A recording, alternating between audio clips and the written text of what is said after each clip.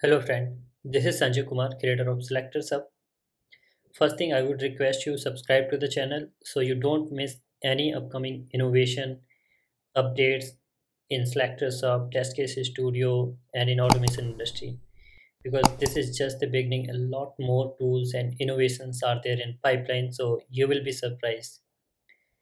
Also uh, if you has haven't taken the SelectorsHub certification program yet so go here on SelectorsHub website and take this certification program. Is This is absolutely free and there are chances that you win a SelectorsHub t-shirt as well as it has a really good quiz which will help you a lot to learn a lot more new things. Great. So this new tool test case studio. What is this test case studio? Test case studio is a platform to record the user action performed on a web application in English sentences. So basically what it will do like whatever user action while doing the functional testing you will be performing in your website, it will keep recording like click here, then right click here. So all those things it will record and generate a manual English test case. So basically now we need not to write the manual English test cases. English test cases basically manually this is going to save a huge amount of time. And what is the need of this test case studio where all it is going to help us? So it is the very first thing it is going to help us writing the manual test cases automatically without putting a single effort single click effort. Very helpful to reproduce the bugs like because what happens many times we while testing something we used to get a bug and then it becomes really hard to recall all those steps because of which we got the bug.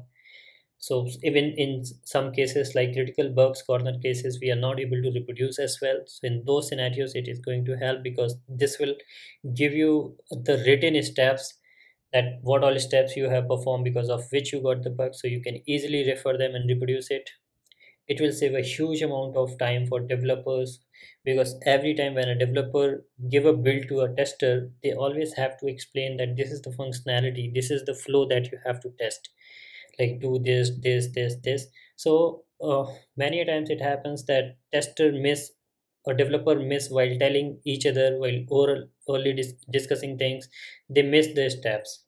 So this miscommunication is going to be like reduced completely and there will no blame game that you didn't tell me you didn't tell me this was your mistake my mistake. So it is going to help a lot in that cases as well. Very very useful for documentation and future proof purpose. Like in production tomorrow you get a bug. Today you don't have uh, any kind of documentation many a times. And whenever any issue comes in production manager asks have you tested this functionality? And we used to be like blind. We don't know whether we have tested or not because we cannot show them the proof that yes we have tested it. And we have to like many times we have to accept that yes it is our mistake or we have to just like forcefully we used to say that uh, no no no this is not a like we have tested it and all. But that doesn't work right?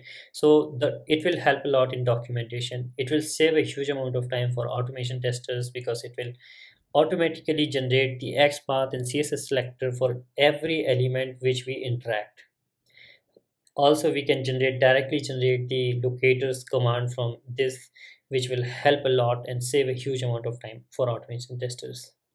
So let's see how this all magical things gonna happen and how it is going to help us in our testing and development.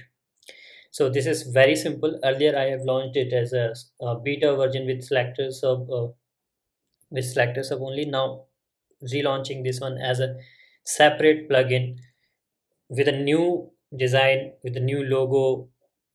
Here this is the test case studio logo. I'm sure you will love it.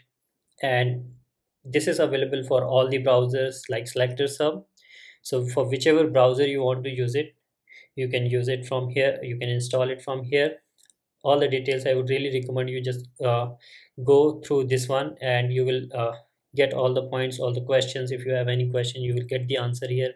Still you if you didn't get that you can uh, leave in the comment section. I will reply for sure. So let's say we want to uh, do uh, use it in chrome. So click on chrome. You can install on any browser. Add to chrome. And before that like you can check the like uh, this is absolutely safe and secure. It runs offline it doesn't save or collect any of your user data so you can check this privacy tab. So this is absolutely safe and secure. You need not to worry that this is a recording test case so it might be recording your actions your user data. No it's not going to record anything. It runs offline. So it is the most safe plugin. So add extension and then after adding it this will come here. You close this one. And then uh, I would recommend you that you restart the browser or just open the website in the new tab. Whichever you want to test the website let's say google.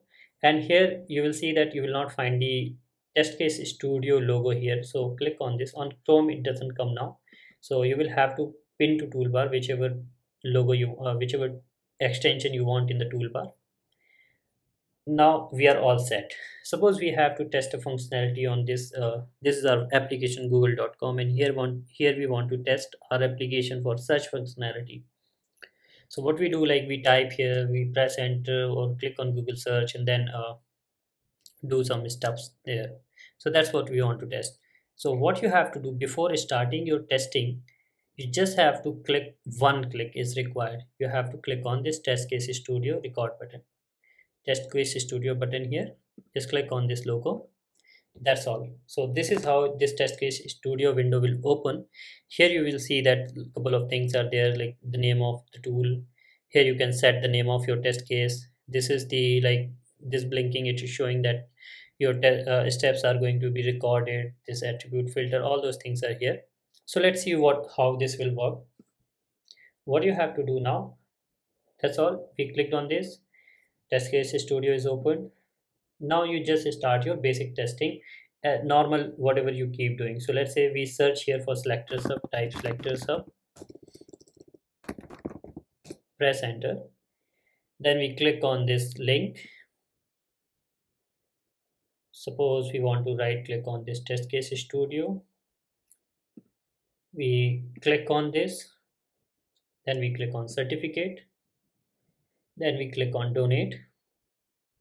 So we did a couple of steps. And suppose now we want to save our test case. So what we do? Let's see. Everything is ready.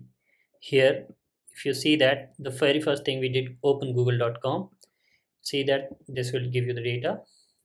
Here then we click on uh, that second link. Then we ent uh, enter search.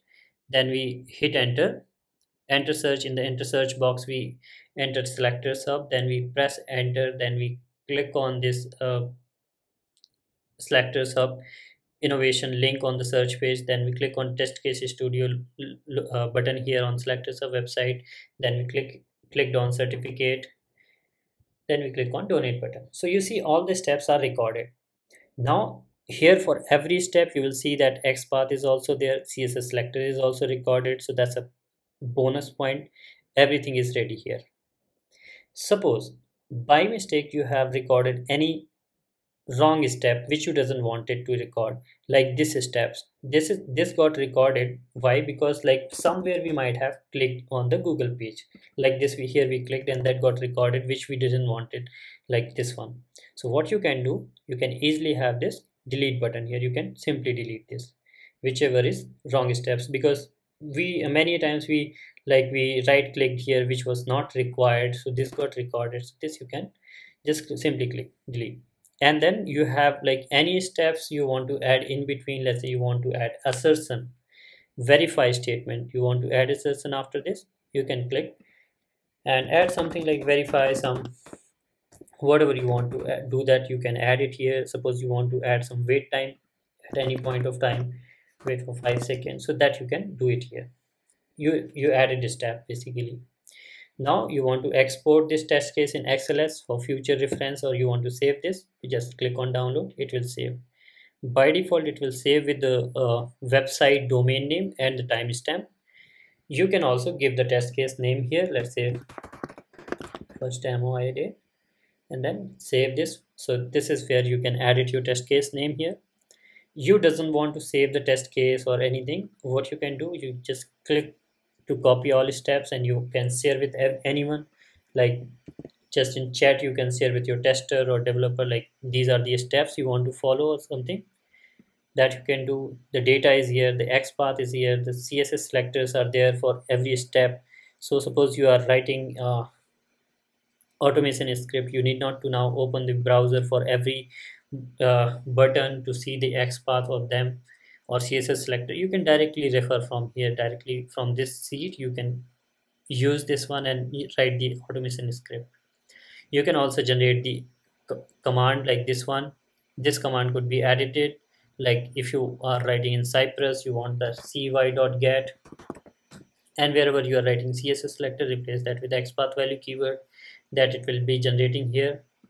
You can turn it off anytime attribute filter option is there like suppose you doesn't want with text you doesn't want with title so those things are here. Like you can just click on this you can uncheck this text box uncheck this id whichever you prefer. So all those things uh, amazing things are there. If you want to stop the recording you can stop anytime you can resume anytime again and that's all. Uh, those all things you can do it here. You can delete all those recorded steps. If you want to record a fresh new test case or from the beginning you can delete them. You can uh, also uh, here you will find all the details of this like change log. You can refer the test case studio change log. Here this is the home page of test case studio tutorial. You can anytime refer join the telegram group link for more updates and anything you want to discuss with the community. If you have any issue if it is not working for your application or anything you can connect with me on slack i would really request you please uh, give a rating to test case studio and let everyone know about the uh, this tool and how it is helping you in your day to day and how much time you're saving. If you feel any issue or anything in this tool or any improvement is required please raise an issue or improvement request on BugAsura if it is helping you in your business please donate to test case studio and SelectorsHub be a patron and support because these are absolutely free product and i'm working full-time on them. So please support and uh, donate. Here you will find the version number. So all those things are there. This is the very first uh, releases of test case studio. There are huge pipeline and lot more innovations are there which are going to make your life easy and more innovative so that you can save a lot of time and use that time to learn new things and be more productive.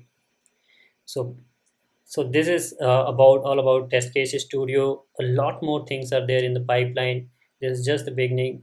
Keep sharing keep learning keep saving time and help others. Let everyone know about test case studio. Do subscribe to the channel so that you don't miss upcoming feature innovations and new tools. This is just the beginning SelectorsHub test case studio.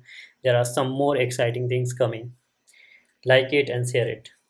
And let me know your thoughts in the comment section. What you feel about test case studio SelectorsHub or anything. Thank you. Thank you so much